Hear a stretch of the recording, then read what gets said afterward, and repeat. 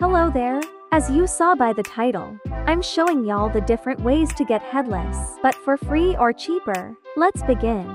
First let's check out the 50 Robux headless. Search up iRing.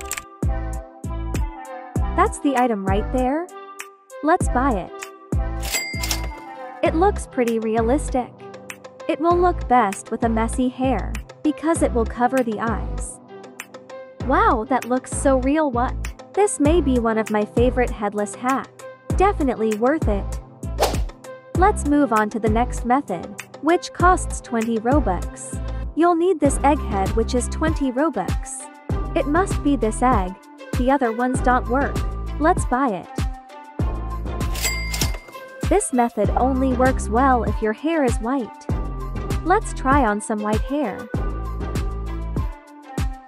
You can still see the head, but it's still worth it for 20 Robux. Now let's move on to the free headless. Go to the heads section and find an item named Cool Egg. There it is. Let's get it. For this you'll need a hair that's thick enough to cover the egg entirely. This might be the best free headless. If you want to hide the little head popping out, just wear a mask or scarf. Wow!